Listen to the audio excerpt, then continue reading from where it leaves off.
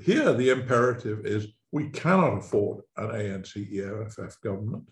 And we think that another five years of ANC government will destroy this country. So, do we want to save South Africa or not?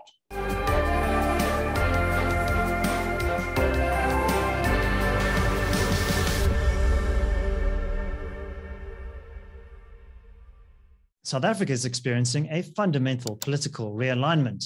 How will this play out? Well, joining me to discuss is R.W. Johnson. He is a well known political scientist, commentator, and author. Bill Johnson, welcome to the show. Thank you. So, Bill, you've been writing quite extensively about South African history, South African politics for, for many, many decades now. And uh, you first encountered the ANC as a as a young man in South Africa and then later abroad in the UK as well, in exile. Uh, so you got to know the organization pretty intimately. Uh, you documented the transition to democracy, uh, and you've since played a very uh, significant role in public life in South Africa. So you know a thing or two about the ANC. What do you make of the current state of the organization? It seems to be at its weakest moment in its history. What do you make? I, I think no? I don't think that's true. Um, look, people forget that the ANC was very weak uh, from its foundation through until after the Second World War. It was an organization uh, counting for very little in that period. It really began to take off only after the Second World War and particularly well into the 50s. It wasn't until at least the middle 50s that it began to take off. And uh, one of your oldest uh, and most faithful partners in race relations, uh, Jill. Uh, Jill Wentzel, you know, yeah. Wentzel, yeah.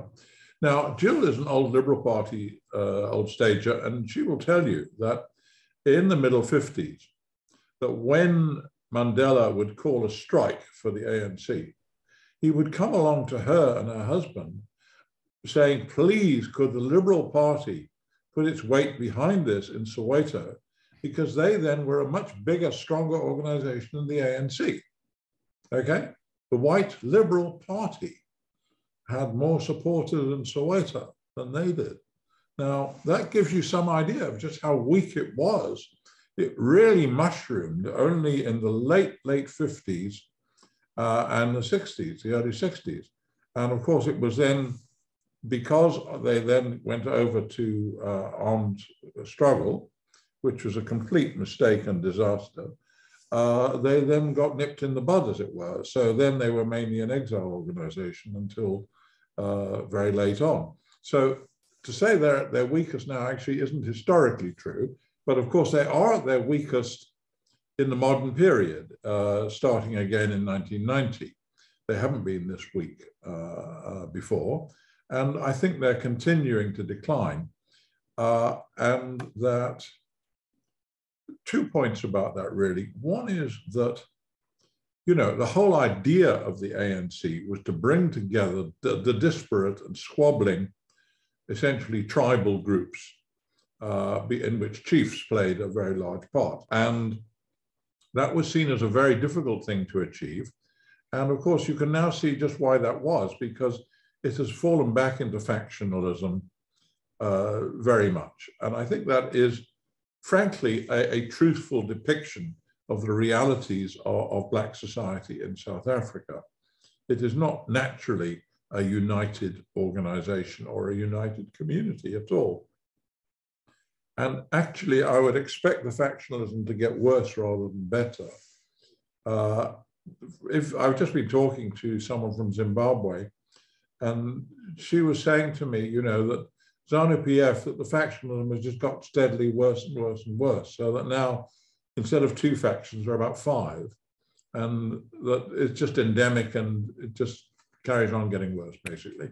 And I think that uh, what was exceptional was the period of militant struggle when they had one overwhelming charismatic leader, initially to Luthuli, and later on Mandela. Uh, and that, that was the exceptional period. And we are now in what is, in a sense, much more normal. And I don't think they will easily go back from where they are now to where they were before.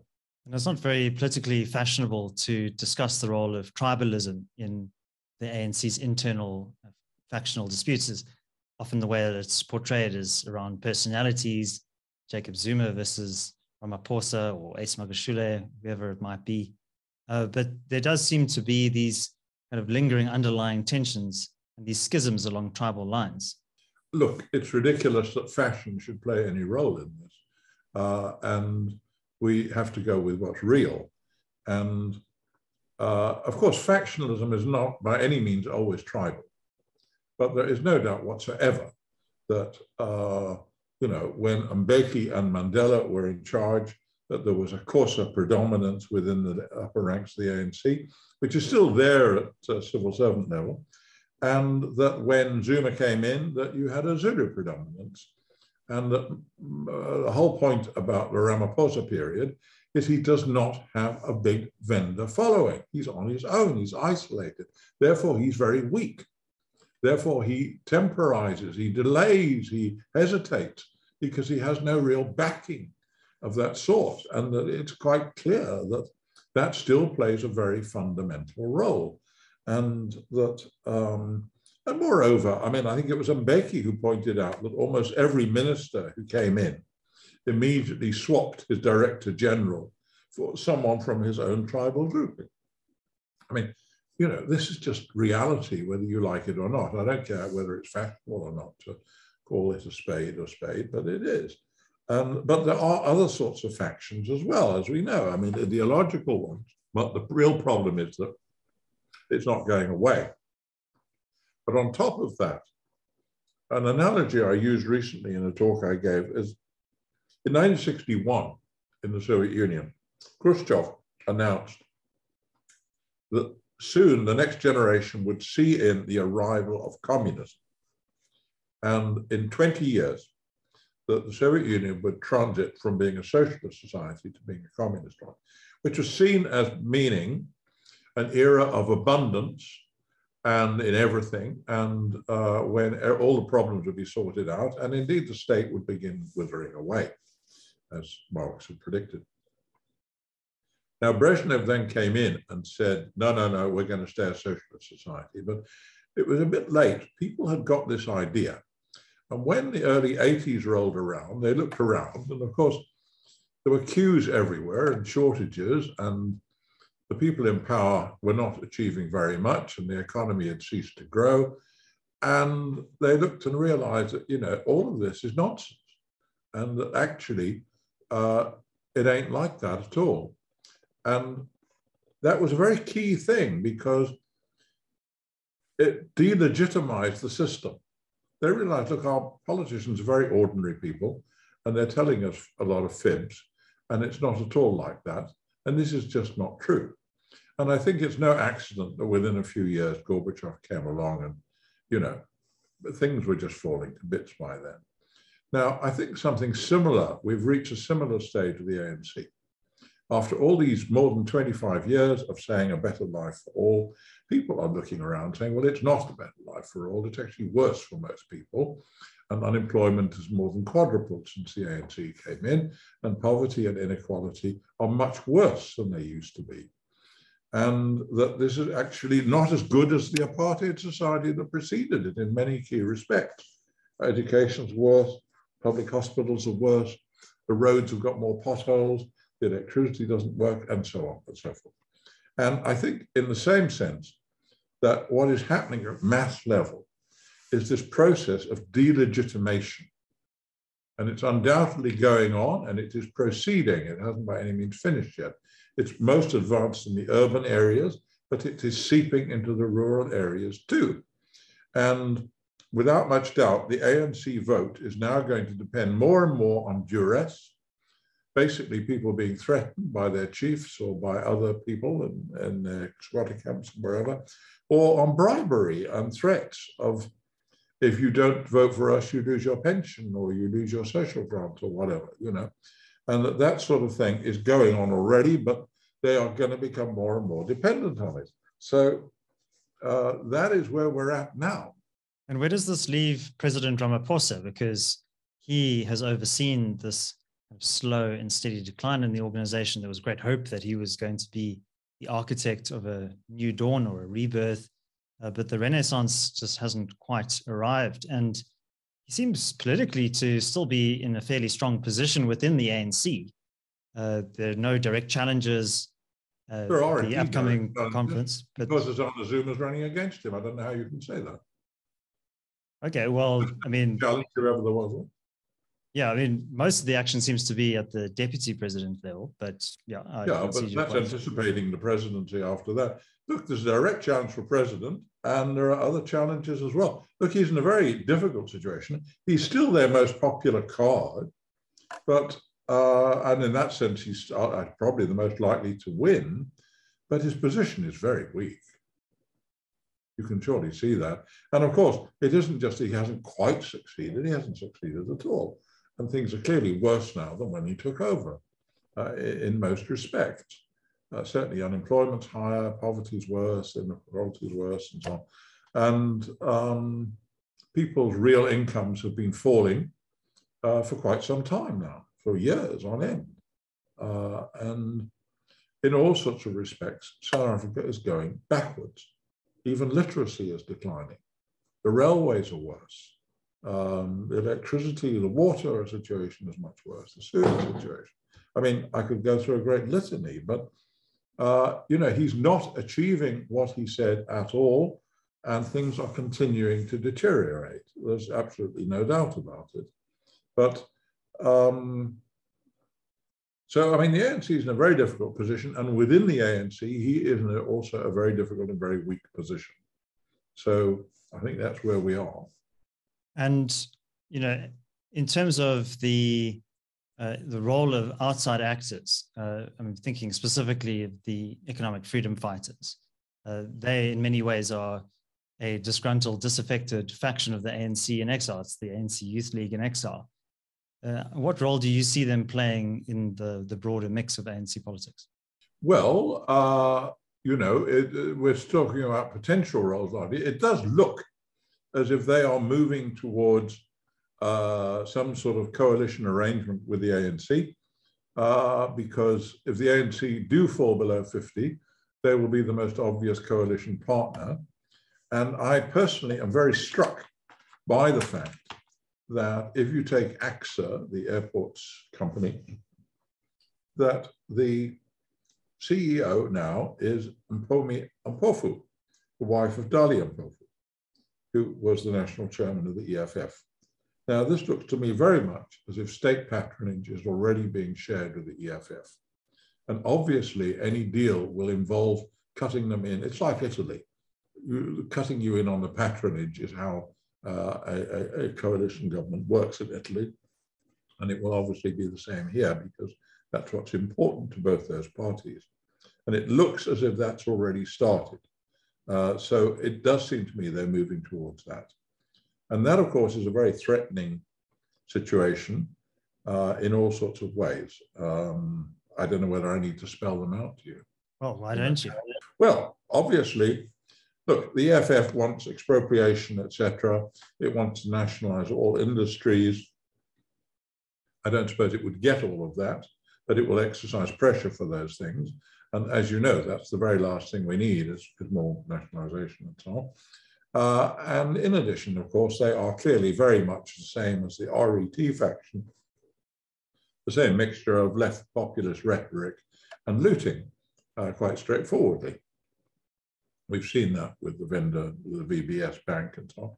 And um, so the entry of the EFF into government would signal uh, partially, it would signal partly a return to a sort of Zuma style period. It would almost, I mean, uh, you know, he has, Malema has strong links with Zuma and the RET faction as it is. It would strengthen their position in the ANC. And of course, Malema is determined to become president and he would probably want the deputy presidency, but if he didn't get that immediately, he would certainly be in a very powerful position with any such government. And it would be very, very bad for all investors, local and uh, foreign. It would cause almost certainly an investment strike. Uh, it would also see further emigration of skilled and professional people. And his party is also very anti-Indian and anti-white. And it would also be alarming for colored people because Jimmy Manyi would be involved probably. So, you know, it would be about as bad news as you could possibly get, really, and uh, very, very threatening. And it would almost certainly give a very strong push to secessionist sentiment in various parts of the country, because people would take one look and say, we do not want to be under such a government. We'd rather look after ourselves. So I think it would be a fatal move, uh, and that uh, the ANC would find it difficult to come back from that. I don't know how, whether they are fully aware of this, but I think that it would set in motion things they couldn't control.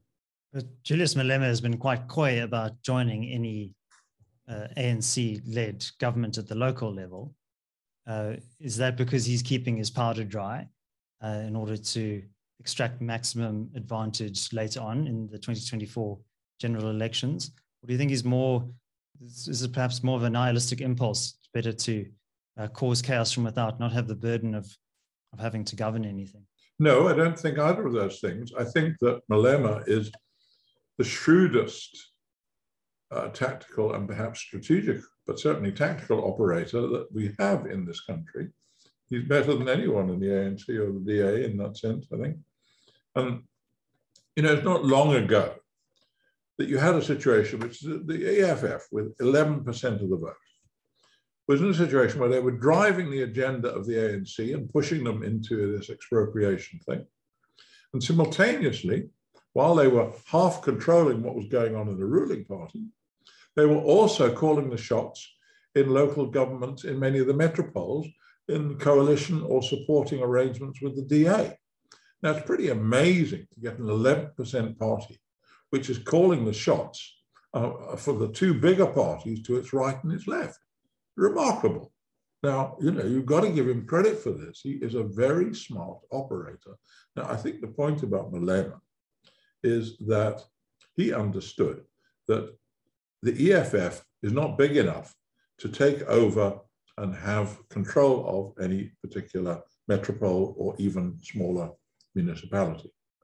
He doesn't want to get into a coalition arrangement where he has to take formal responsibility for what goes on in a municipality when in fact he doesn't have control. So he therefore wants to limit the relationship to one where he gives support but is not held responsible by voters for what then happens. And that's his maximal position, because that gives him a position where he can extract concessions from the ruling group, whichever it is, uh, but he doesn't have to take any responsibility for what goes on. I think that's his best posture in terms of, of political gains. And when I interviewed Tony Leon in this show, he said that any potential coalition between the ANC and the EFF could drive a wedge within the ANC itself and actually lead to a split in the ANC. How plausible do you think that is? Well, you know, it's possible, but I wouldn't bet on it because look, you know, the ANC are the, people tend to be very loyal to it, and uh, you know, uh, when there have been splits away, people mainly have clung to the ANC, and the ANC is the source of patronage after all, which is what matters, and. Um, you know, when Zuma took over, Cope did depart, it's true. But otherwise, most people, including people like Trevor Manuel and people who might not have, they hung on. They didn't resign. They didn't split away, most of them. They said, oh, well, you know, I'm still ANC. So I think that that loyalist instinct is very strong. And while some people would be very offended and wouldn't like it, and they would on the whole be the better elements of the ANC and the sort of anti-corruption people, uh, they would be a minority, I think.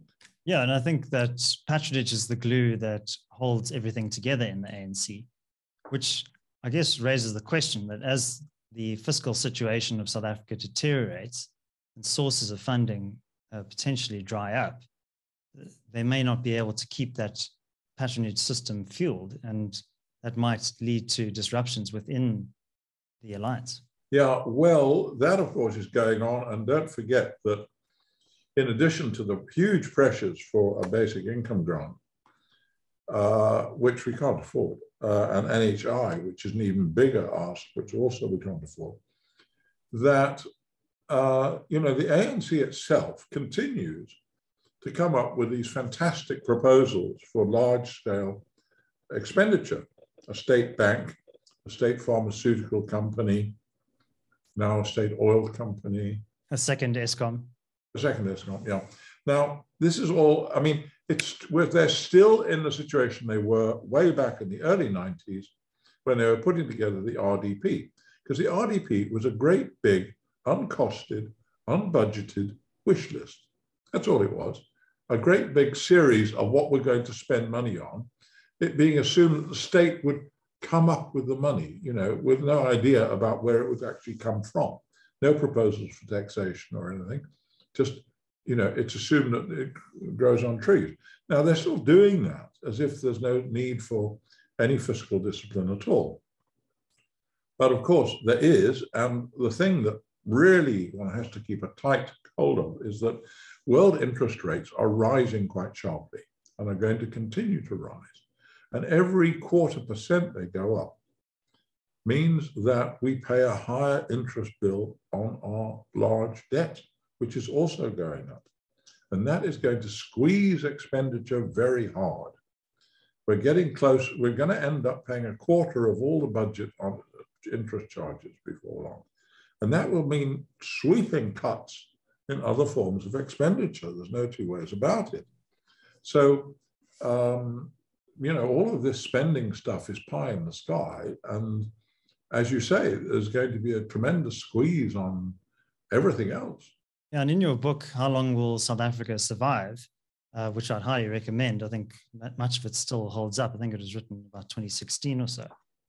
Um, you know, you highlighted the potential scenario that as South Africa's fiscal situation breaks down, as the investment climate becomes ever more hostile, that this could effectively bankrupt the state and lead the ANC government into the awaiting arms of the IMF, with a structural adjustment type program. And it seems the IMF has uh, moved away from structural adjustment as its preferred policy.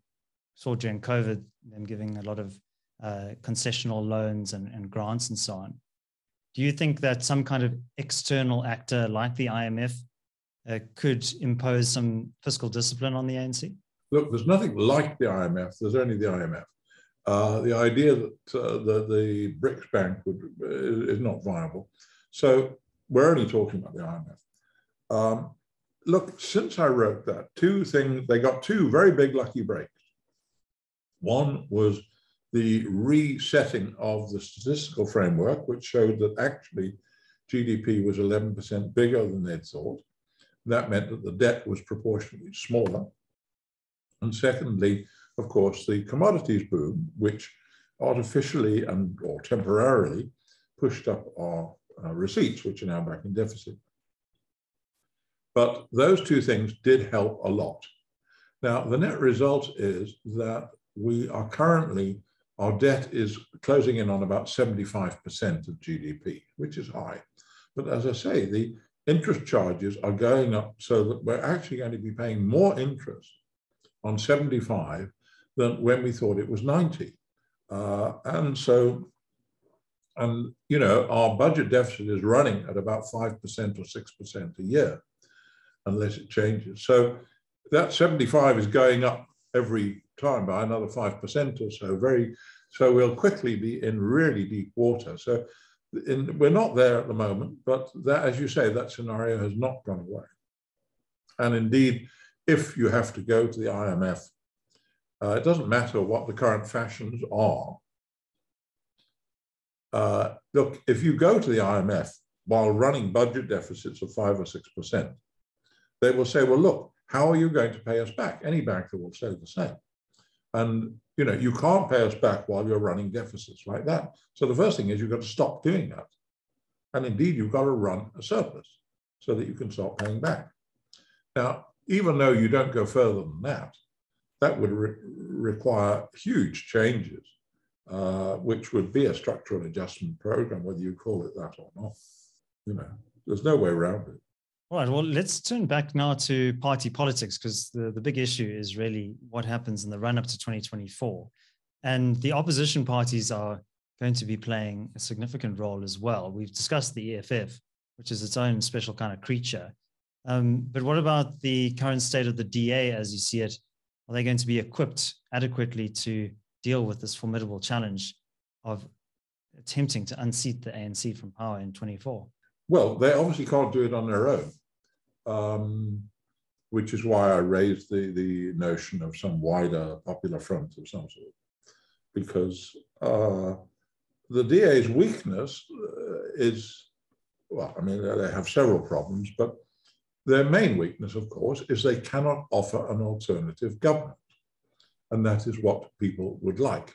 I think to a large extent, people in South Africa have still got a framework in their mind derived from the older period when, you know, with first past the post and constituencies, you had an alternative government and you had uh, in, in mind. So if you, you, either you could either have the UP or you could have the NAP sort of thing, and uh, that was the situation. And the, the, weakness always of the Progressive Party is they couldn't offer an alternative, and the DA are still in that position. So they can only offer, and I think people would like to know uh, what they're getting if they're not going to have the ANC. They want to believe in some viable alternative. Otherwise, you're voting for a sort of vacuum or you're not sure what.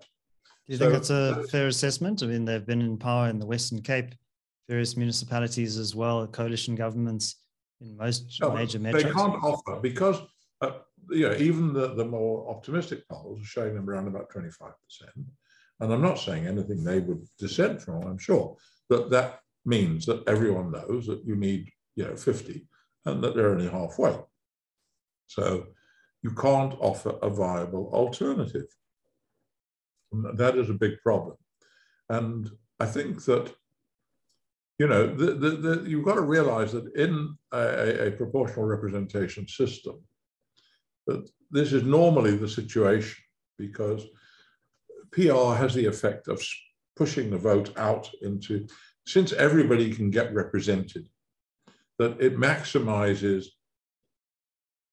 the utility of having a separate and distinct identity right across the spectrum, as it were. So every party tries to go for its own particular grouping. It's unusual in a PR system to get a party with 50. Uh, I mean, in Europe, where you have PR quite commonly, you never get a 50% party. Even in Germany, uh, the CDU, even in West Germany, it only managed it once ever uh, and it's very long way from that now. We are gradually getting into that situation ourselves, where as the ANC goes under 50, so it will also become unheard of here. Now, once you're in that situation, the problem you've then got normally, I mean, I'm just speaking as a political scientist really now, is that in election campaigns, in a PR system like that, you emphasize the differences between your parties because that is your distinctive, you know, unique selling point that you've got. And that brings out your particular, your maximal and, and uh, differentiated audience. And then when all the voting's over, uh, then you sit down to bargain. And you can see that in Germany, they often bargain for a month or more uh, and then form some sort of contract with government.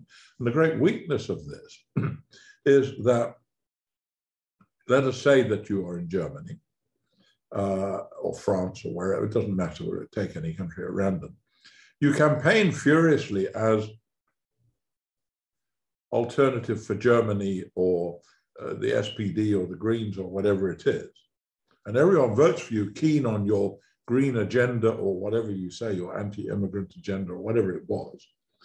But then when the voting's gone, you sit down and start bargaining and making compromises with people who are quite different from you. And so your voters are left rather open mouthed because they voted for one thing, and the politicians immediately start making deals between themselves, which you had no inkling about and you didn't know a thing about. And uh, it's very undemocratic. Uh, and that's the nature of making these coalitions, that you didn't know until after the election what you were going to get. Now, I think the way round that for the DA is to form some sort of wider united front with other groups which are not ANC to try to offer an alternative, which is a national alternative. It would, by definition, be a loose grouping where they all retain their separate party identities. But I think that way they could offer, if they had some common program, have to be a minimum program, which they could agree in advance, then at least they could offer the country saying, if you vote for us, this is roughly what you will get. And I think people want to have that sort of clarity, and it would strengthen their appeal and make their, their bid more realistic. Yeah, and uh, in preparation for this interview, I was reading your book, uh, South mm. Africa, uh, the first man, the last nation, uh, and in the in the preface, uh, you you say we have to face the sad truth that South Africa, with the end of apartheid, exchanged one set of authoritarian hegemonic nationalists for another, and that many of the hopes of liberation have faded as the similarities between these two hegemonies have multiplied. Mm. So, could this broader popular front, perhaps with the DA at its apex, could that form this a new, more liberal democratic alternative to the historical uh, hegemonic nationalism that we've seen in the past in South Africa? That's exactly what I'm talking about. Yes, it would it would indeed be a very different sort of alternative. It, it, might include the Freedom Front Plus.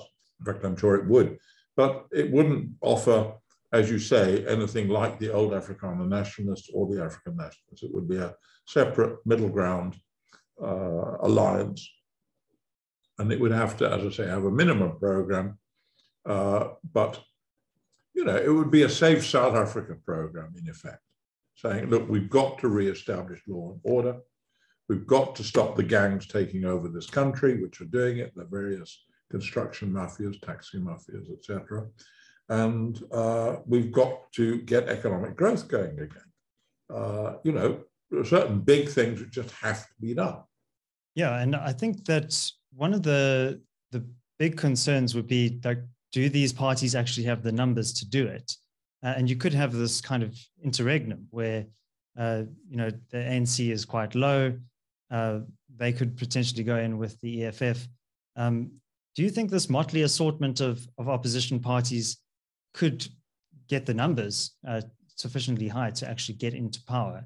And, you know, I think we've been talking a lot, my colleagues and I, about the wild dogs thesis. And, you know, it's the ANC, if you consider it to be the, the big mighty buffalo, uh, if the wild dogs can gang together, they can take down the buffalo.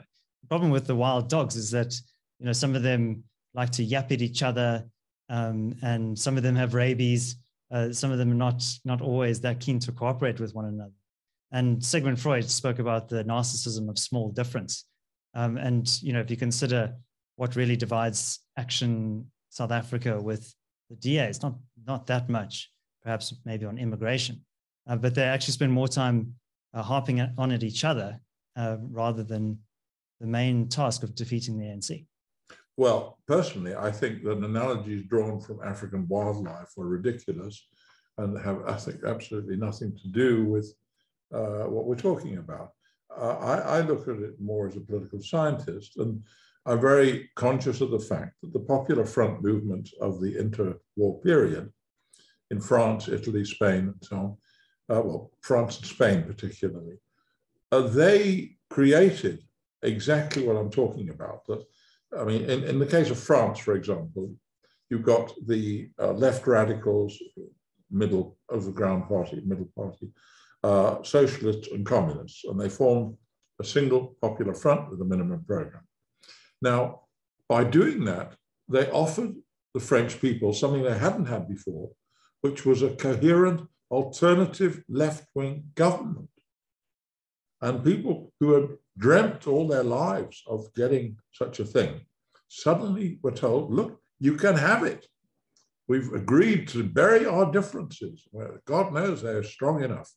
They've been fighting one another for years. But we are so frightened by the rise of fascism in, in Germany next door, and we cannot allow that in France. So we've got to stop it. And that's what we're all determined to do. Now, the result of that was to create a momentum and an elan, which greatly increased the vote of that party, of that front. So that in 1936, the Popular Front got far more votes than the separate parties had got prior to that, because they were able to offer that alternative government. Now, uh, and something similar happened in Spain. So that is the model in my mind. And I do think that if you can offer, and of course, what was very euphoric for people in France was the thought that, you know, up until then, the socialists and communists had referred to as les frères ennemis, the brother enemies, right? Because they always fought bitterly. They were rivals for the same voters, you know.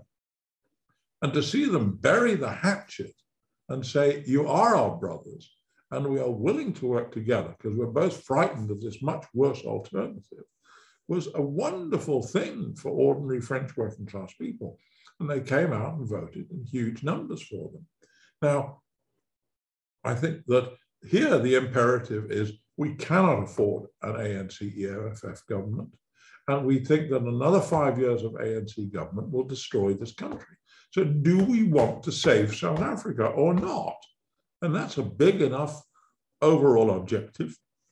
And it's saying there's a much worse alternative out there, which has to be avoided. And I think that that is, is the way to look at this and that that would, I hope, and I think very it could very realistically increase the vote for that front and its constituent parties. All right, and what role do you foresee the DA playing in this broader popular front? Do they have what it takes to to drive well, it would have to play a predominant role. Look, by definition, if you have a, a contract between these parties saying we will agree a common program then you're all bound to it equally. And uh, that's very important. So they cease to be the leaders in the sense that they may be the bigger party, but they are just as bound to it as, you know, the, the UDM or IFP or Mashaba's party, or whatever. And, um, but nonetheless, they would be the largest single block within it and they uh, would quite likely be the biggest gainers in vote terms because uh, what has tended to happen in popular front movements is that the party which takes the initiative in driving the popular front tends to be identified with that and to gain the most politically. You can't be sure of that, but it, it might well work that way. And uh, I think that uh, you know, it might not. Uh, equally, clearly, there are many African voters who don't wish to vote for a, what they still think of as a white party. So they might say, well, I want to offer, I want to go for that uh, broad front, but I'll vote for Mashaba as a way of doing it. You know, well, okay, cater for that. Give them the Mashaba option, you know, or UDM or an IFP it gives you that sort of menu of alternatives. Right. Well, say they succeed and they take over the keys to the union buildings. What then? Uh, because the capacity of the state has declined so significantly, even over just the last few years, as we've been discussing. Can this breakdown of state capacity be reversed? And what will it take to get South Africa back on the right track should this popular front take power?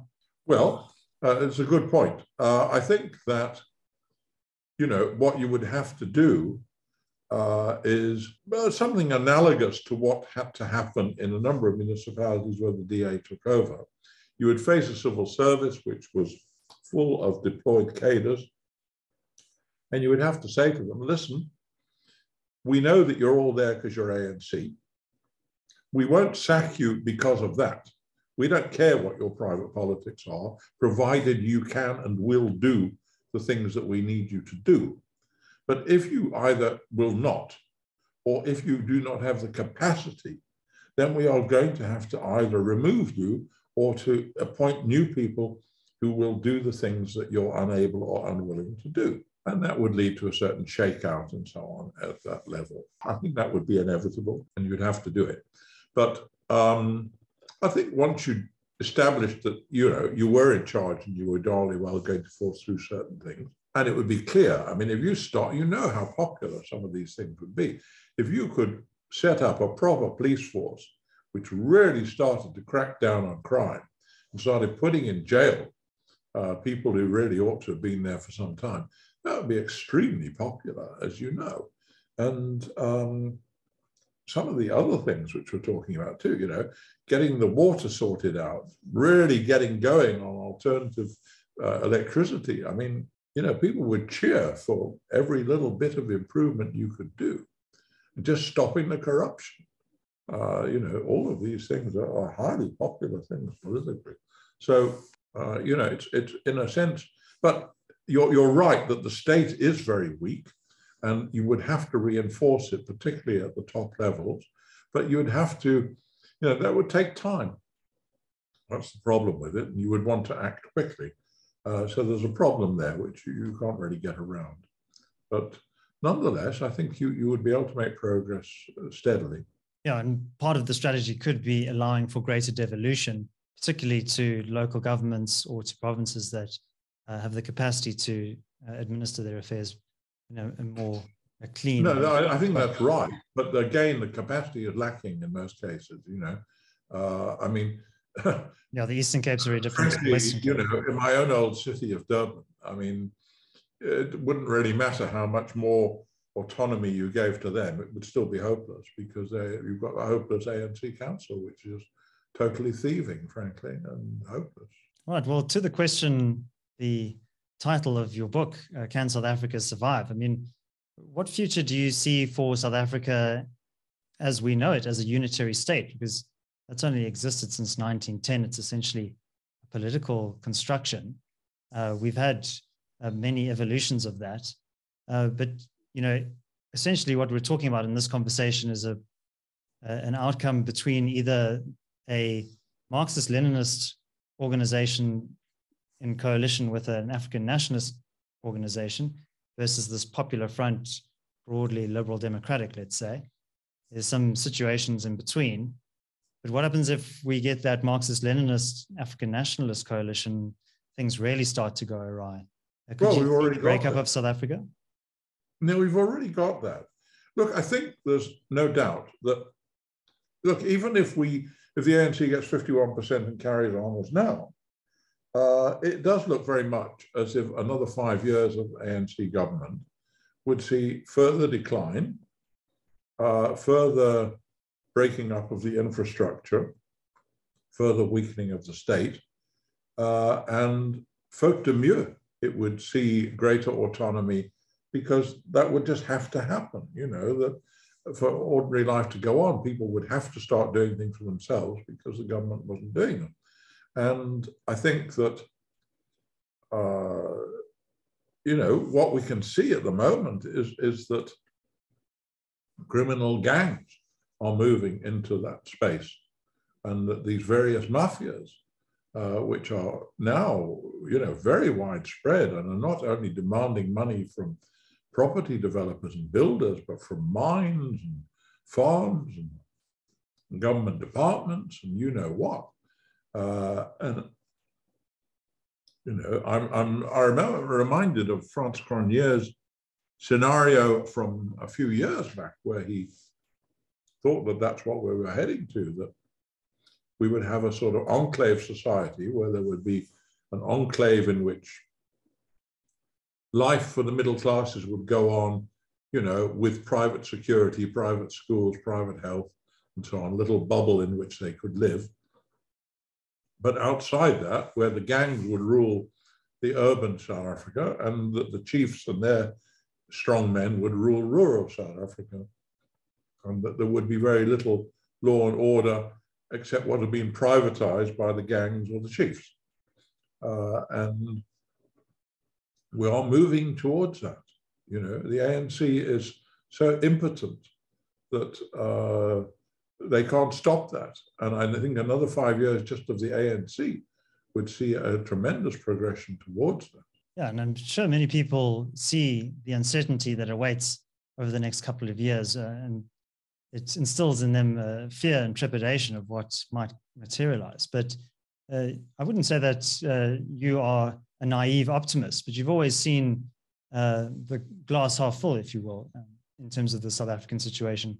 I was reminded of this passage from uh, your book, Foreign Native, which was a memoir of sorts.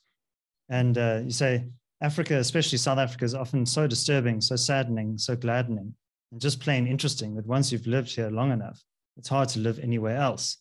And uh, you tell this anecdote of uh, somebody who returns from Australia. he says, uh, you know, that it was a rather bland place. He says it was a relief to get back to abnormality when he arrived back in South Africa. I'll use that line a bit more, more frequently myself. But, uh, you know, do, do you see us kind of muddling along in the, the same uh, uncertain state, but you know, somehow uh, managing to get things together. What is your kind of your view of the next five years?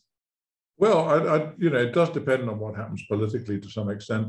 But look, at the moment, we are in a state of regression. We are moving backwards. And, you know, you've really got to take that on board because historically this is unusual as we know, I mean, the European Dark Ages were just such a period, a very frightening period, uh, where things go backwards. And that was basically caused, as we know, by the pirates in the Mediterranean interrupting the flow of grain from Egypt to Western Europe, which created conditions of starvation right across the continent. And thus, the only way to feed yourself for winter was to go and raid the next door community so it meant everybody against everybody else, and only the strong could survive. And the only way you could get through was having a robber baron under whose wings you clustered and hope that he could beat the other robber barons. And that was what the Dark Ages were about. Now, here, as I say, we're in a situation where things are not stable. It's not a matter of muddling through. We're not muddling through now uh, we are actually in a state of, of, regression, of decline, if you like, and that will continue under ANC government. There's, look, uh, Ramaphosa has not turned that trend around at all. It has continued on down under him. And uh, I would expect if he gets back in with an ANC majority, then I think that trend will continue. Uh, I, I, don't see him even leveling out. And what do you make of some of these emergent uh, secessionist movements? I mean, there's been this Cape independence movement. It seems a very small group of people at the moment, but do you think that this could gain some currency? Could we see similar moves in places like KwaZulu Natal? Look, it's always a possibility in Natal. Natal does feel separate and different. And it isn't just the old white federalists and so on. Uh, you know, it's it's always at one remove for the Zulu kingdom and so on. And the truth is, Natal would make a very decent country on its own. It's got that wonderful, it's got the two biggest ports. It's got, uh, you know, it can feed itself. Very good. It gets half of all the rainfall in the country. Uh, it's very rich agriculturally. Uh, you know, it could make sense as a country. Uh, so, um, and it's got a predominant group. I mean, you know, if you just have a KZN on its own, then there's an overwhelming Zulu majority but you've also got a very strong, educated, and entrepreneurial Indian population and a substantial white population. So that uh, there's a lot of skills and uh, money and so forth there, which uh, would make it a, a, viable state if it wanted to be. And in the Western Cape, I don't see secession happening, although, as I say, if you've got an ANC EFF coalition, it would push the secessionist option strongly. And you must realize that in the Western Cape, you know, every DA voter you talk to says that, oh, of course, I would love an independent Cape or a more autonomous one. But uh, that's at the moment I'm voting DA autonomous. But i.e., they're the same people.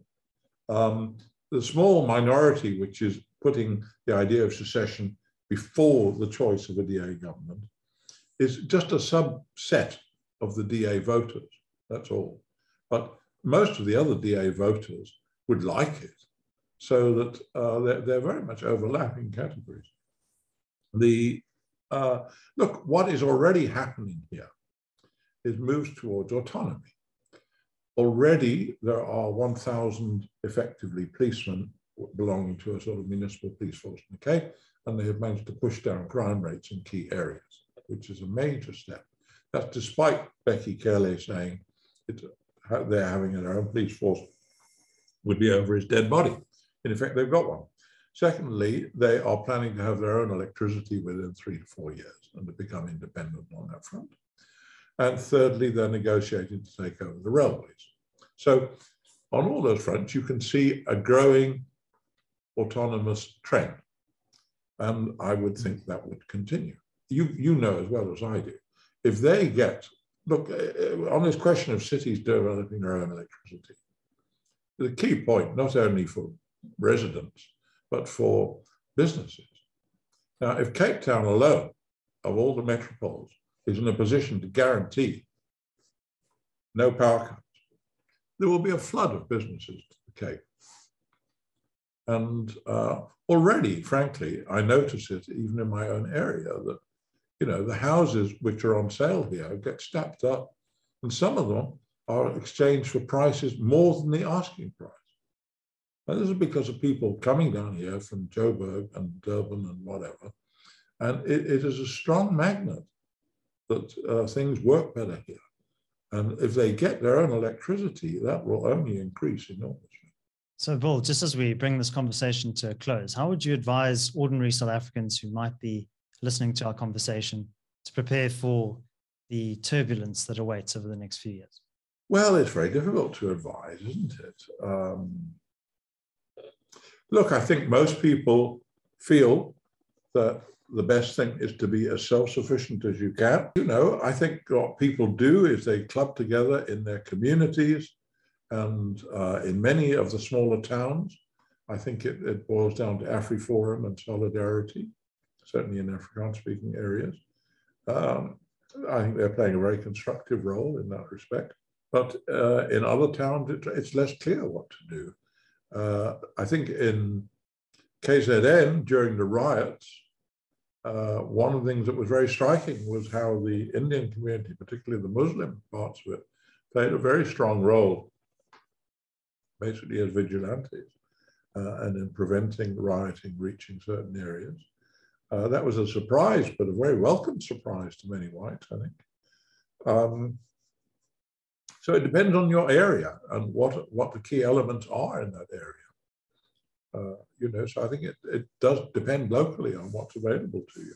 If you enjoyed this conversation and you're watching on YouTube, please do give this video a like and subscribe to the channel if you haven't done so already. And if you're listening on your preferred podcast platform, please do subscribe there as well. My name is David Ansara. Until next time, take care.